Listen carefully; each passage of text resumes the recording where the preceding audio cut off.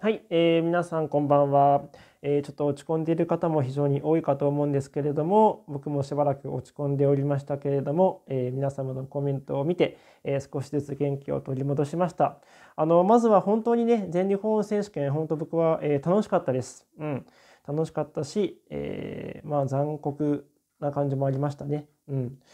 本当にいろんなことがあったと思います。怪我をとやっぱりあのする選手も途中でいたりとかね、男子選手でしたけども、羽生選手の4回転アクセルについても、え、これからまたもっと語っていこうかなと思うんですけど、本当にいろんなことがありすぎてね、どこから語っていこうかなというところがあるんですけど、ちょっと今一番えー、速報で、あのー、まあ、緊急でね、お話ししておきたいところ、やっぱり川辺愛菜選手と三原舞選手のことについてですね、えー、お話ししていきたいと思ってます。まず、あの前提から、あのちょっとお話ししたいんですけども、僕、どっちもね、ファンなんですよ。うん、あの川辺選手は、まあ、今年、まあ、特に今年からね、えー、ファンで、えー、見てます。はい、で三原選手は本当4年5年間ずっとファンでね、うん、あの4年の4年前にやっぱりその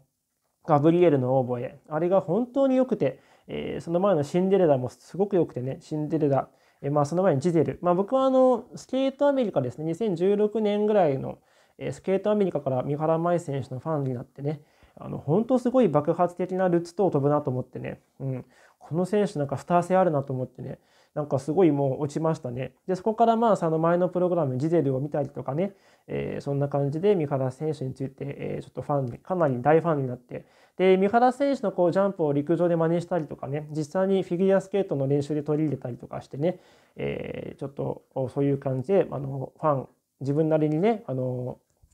ああのいろいろあったんですけど、えー、まあ、あの、4年前はね、あの全日本選手権で、まあ、あの、ミスをしちゃってね、代表に選ばれなかったと、ピョンチャン五輪ね。だから、この4年後の、えー、北京五輪の代表はか、あの、本当につかみたかったと、うん。どうしてもつかみたかったというところがね、えー、あって、で、今季本当に良かったんですよ。まあ、ジャパンオープンでミスがあって、え、どうかなというところがあったりしてですね、あと、まあ、病気のこともあって、えー、まあ去年から復活してきたんですけど、まあ、本当今年は体調もね、えー、体も栄養も少しこう取り入れてきて少しこう前の三原選手に戻ってきたかなっていうところがあっただけにですねあのー、まああのねえーと、とオリンピックに今季かなり近い選手かなっていうふうに思ったんですよ。あのグランプリシーズンを通して、ジャパンオープンの時はあれですけどね、まあ、アジアンオープンを挟んで自分のあの課題を克服してね、えー、来たわけです。で、スケート、あのグランプリシリーズは2戦ともね、ほんとほぼノーミス、ショートもフリーも。イタリア大会ではショート、フリー、完璧にね、E マークとか、あの、アテンションとかね、レベル4も、全部レベル4だったと思いますけどもね。えっ、ー、と、イタリア大会の時は若干、レベル3とかあったのか、レベル3っていうか、まあ、アテンション、9マークかなあったのかなと思うんですけど、でも本当にすごいレベルを上げてきて、で、日本の女子の中ではね、坂本選手を超える77点というね、高いポイントを獲得して、この全日本選手権に来たわけです。まあ、結果がね、4位、4位、グランプリシリーズ4位、4位っていうところで、メダルが取れなかったっていう部分もあるんですけど、まあ、そんなことはあまり僕は関係なくて、この高い技術点を保持していると、まあ、要は北京五輪のま代表選考の基準に乗ってくるというところでね、三原選手、非常に期待をしていたんですけども、ちょっと、まあ、今回の全日本選手権でね、アクセルジャンプミスをしてしまって、えー届あの惜しいところでね、えー、まあ、メダルを逃してしまったということになってしまいました。まあ、最初はね、あの北京、まあ、全日本選手権優勝争いもできるかなって僕は思ってたんで、えー、ちょっと悔しいあの結果になったなっていうところがあるんですよね。うん、で、まああのでね、えー、結果的に、まあ、順位は4位になりまして、あの北京五輪代表争いはどうなるかというところだったんですよ。まあ、あの1位、2位のね、あの坂本、樋口選手についてはね、あの納得いく、まあ、あの結果かなと北京五輪に十分当確かなっていうふうに思ったんですけど、まあ、川辺選手と,、えー、と三原選手についてのねあの、まあ、北京五輪代表争いというところで、えー、どうなるかと皆さんはね固唾を飲んで見てたかと思うんですけど、あのー、そうですねやはりあの川辺選手も今年はかなり、えー、やっぱり頭角を現してきて特にジャパンオープンの時すごかったんですよ。ミラクルとか見てね。トリプルアクセルも綺麗に他も全部ノーミスでね、うん、で、まあ、技術点が74点でした。うん、でね、あのー、まあ、PCS がね、まあ、60点前後とあんまり伸びてなかったんですよ。だから PCS 伸びるかなと思ってね、まあ、スケートカナダが62点って、えー、NHK から65、6点取ってるんですよね。うん、だから PCS も上げてきて、国際舞台で場数を踏んで、あのー、点数上げてきてるなっていうところあるんですよね。だから、そういった意味で川辺選手はね、あのスケート、その試合を追うごとにね、自分のその、えー、なんなんて言うんでしょうかね、その課題を克服してって、うん、えー、ちょ徐々にこう底上げしてってるなとでそしてこの全日本選手権を迎えてあのショートプログラムでねあの緊張する場面でトリプルアクセルをきれいに決めたっていうのはこれはね非常に大きいことだと僕は思うんですよ。でそれだけじゃなくてねあのフリースケーティングでもトリプルアクセルをきれいに決めた。うん、で他のジャンプもねなんとかこらえてで僕はそう驚いたのはねトリプルフリップトリプルトーループのところ。うん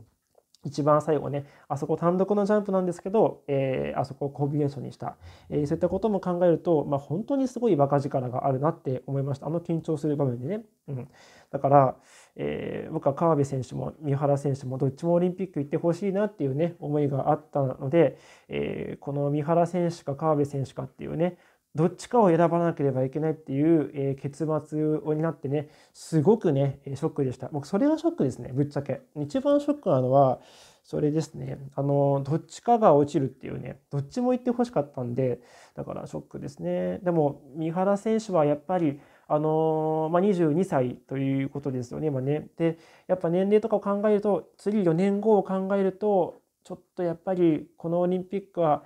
あのやっぱり出てほしかったなっていう思いがあるわけですね。4年後どうなってるか分かんないっていうところで。うん、であの皆さんもコメントでおっしゃる通りですねあのオリンピックの基準に、えー、将来性っていう項目はなかったと思うんですよ。うん、でも将来性とかを考慮して、えー、オリンピック代表を川辺選手に選んだっていうところをねなんかどうやらおっしゃっているスケート連盟おっしゃってるようなんですよね。うんまあ、要は将来性だから川辺選手の方が、え、三原選手に若いし、えそれからまあ将来性があるというところで、えオリンピックの後も見据えたと、うん、オリンピックの北京五輪の後も見据えたというところでお話をされてるんですね。まあ、それがその基準に乗ってくるというようなお話をされてたということみたいです。えー、まだあの皆さんのコメントを見て、えー、そういうふうに僕は思いました。で僕はなるほどなと思いました。確かになと、えー、川辺選手まだ若いですしもしかして4回転ジャンプとかもね、え飛べる練習していけるんじゃないかというところでね将来性はあるかと思うしそう考えると三原選手ってやっぱりこう今の時点で4回転とかトリプルアクセルとかないので、えまあ将来的にどうかなっていうところあると思うんですけどでも僕ねその項目がまあなかったもんですから今回ねその北京五輪のこの代表の選考の項目にね。だからちょっと、なんかね、じゃあ最初の日本スケート連盟が言ってた高い技術点を保持する選手とは一体何のことだったんだろうってね、ちょっと思っちゃいますよね。うん。うん。まあ、あとは、まあ、今のロシアを鑑みて、えー、やっぱり、まあ、トリプルアクセル4回って普通になってきて、まあ、種類も非常に豊富という中でですね。じゃあ誰がポテンシャルがあるのかってなった時にやっぱりトリプルアクセルをショートフリーで飛べている川辺選手ということでえ選出理由の主な原因になったというところもあるかもしれませんがね、はい。まあ、いろんな要因もあると思うんですけど、まああのえ将来性っていうところをねえ若さと将来性というところに重きを置いた選考になったというところが、え軸になっているということなんであのあそういうものなのかということで、え僕は現実を受け入れました。うんえー、まあ、悲しいというか、まああのまあ、そういうことなんだなっていう感じでねでもね僕あのねやっぱり全日本すごい楽しかったですね。うん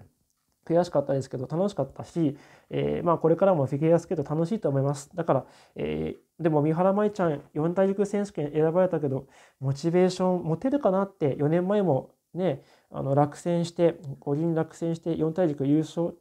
2位か坂本選手続いてねだからね、まあ、愛ちゃんの方が僕国際舞台強いと思うんですけどもねでも川辺さんも好きだから何とも言えない難しい。結構ね、そういう人多いんですよ。僕の他にもね、川辺さんも三原さんも大好きっていうね、あの、オタクのファン、オタクっていうかフィギュアスケートのファンの人さん多いので、ちょっと共感したいしちゃいますよね、本当にね。共感しちゃいますね。うん。だから、そういう皆さんのコメントを見ると、ちょっと現実受け入れていかなければいけないかなというのがあるのでね。はい。まあでも、河辺選手が選ばれたことによって、なんかその選手を批判したりとかね、なんか見る気がないとかっていうのは僕は全然違うと思うので、それは良くないかなっていうふうにはっきり思いますね。うん。あのやっぱり、えー、選手たちは頑張ってるしあのリスペクトし合ってますしあのそういう中でやってるので、まあ、それ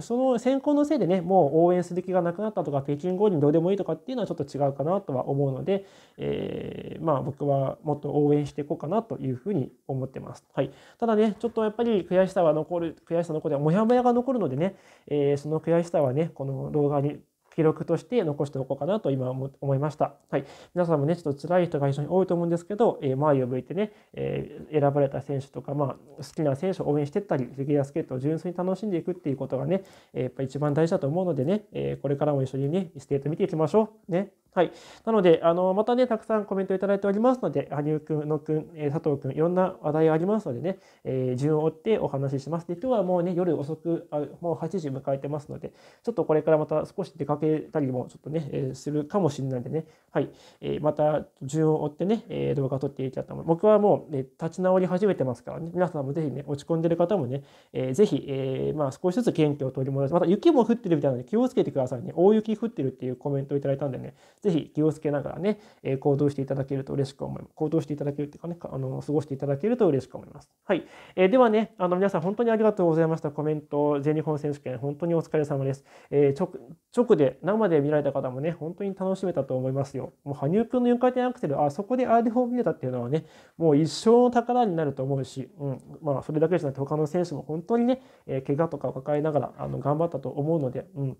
ドラマだ。本当にドラマがあったです。えー、さ三浦佳生君も本当にね、すごかったです。もう、本当にもう、もうすごすぎて、もうね、何があったかを忘れるぐらいすごかったですね。はい。えー、なので皆さんもね、元気出していきましょう。ね、あの、まだちょっと眠れないっていう人もいるかもしれませんけどもね、少しずつね、えー、まあでいいので、まだ頑張っていきましょうね。はい。というわけで皆さんありがとうございます。バイバイ。